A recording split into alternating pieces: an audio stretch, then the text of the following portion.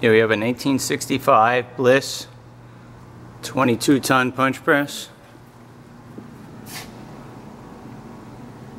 22 ton, two and a quarter inches of adjustment, two and a half inch stroke.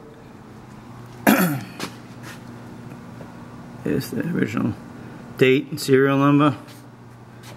The bed is original bed plate. It's not all cut out. The screw is in great shape. Nobody ever put a pipe wrench or the wrong size wrench on it.